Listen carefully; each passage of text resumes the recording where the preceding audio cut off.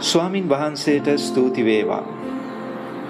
මගේ සහෝදරය සහෝදරිය මේ උදෑසනත් අපි සෝදිසි කරන්න යනවා. යොහන් තුන්වෙනි යොහන් යවුම් පත්‍රයේ තුන්වෙනි පදය. ඒකේ කියනවා මන්ද ඔබගේ විශ්වාසවන්තකම හා සත්‍යෙහි ඔබ පවතින අයුරු ගැන මෙහි පැමිණි සහෝදරයින්ගෙන් අසන්ට ලැබීම මට මහත් ප්‍රීතියකි. මගේ සහෝදරය සහෝදරිය ඔබයි මමයි කල්පනා කරලා තියනවාද අපිට ඉහලින් තබල තියෙන නායකත්වයේ අපි ගැන සතුටු වෙන්නේ මොන කාරණාවල් නිසාද කියලා. ඒ වගේම දෙවියන් වහන්සේ ඔබයි මමයි ගැන සතුටු වෙන්නේ මොන කාරණාවල් නිසාද? යොහන්තුමා ගායස් ගැන සතුටු වෙනවා ගායස්ගේ සාක්ෂිය ගැන. ගායස්ගේ සාක්ෂිය ගැන සතුටු වෙන්න යොහන්තුමාට කාරණා කීපයක් තිබුණා කියලා යොහන්තුමා යාව ධෛර්යවත් කරනවා. ඒ තුල තව තව පවතින්න කියලා. පළවෙනි කාරණාව තමයි ගායස්ගේ සාක්ෂිය තුල තිබුණු නැත්තම් ගායස්ගේ සාක්ෂිය පොහොසත් උනේ කොහොමද? ඒ සාක්ෂිය ඇතුලේ තිබුණා විශ්වාසවන්තකම. මගේ සහෝදරය සහෝදරිය ඔබටයි මට ඉහලින් තබලා තියෙන නායකත්වයට ඔබ විශ්වාසවන්තද? ඒ අය ඔබගෙන් බලාපොරොත්තු වෙන මගෙන් බලාපොරොත්තු වෙන කාරණාවල් වලට අපි විශ්වාසවන්තව එක් කොටස් අපි ඉෂ්ට කරනවද?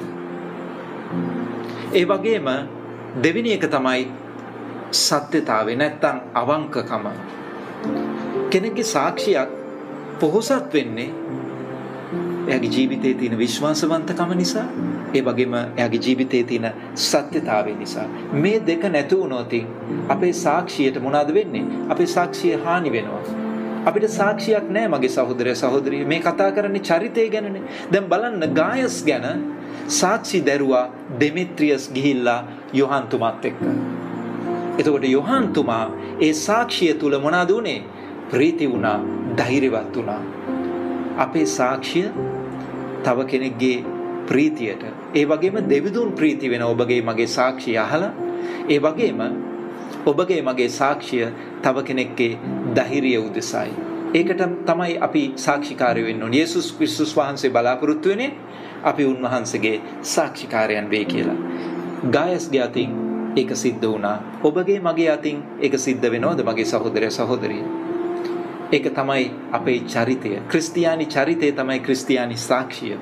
ඉතින් ඒ සාක්ෂිය තව අයගේ දෙවිදුන්ගේ මහිමේ උදෙසා අනිත් අය ධෛර්යවත් වෙන පිණිසත් අපි දිගටම විශ්වාසවන්තව ඒ වගේම සත්‍යතාවේ නැත්තම් අවංකකම තුල අපි උන්වහන්සේගේ සේවය කරමු.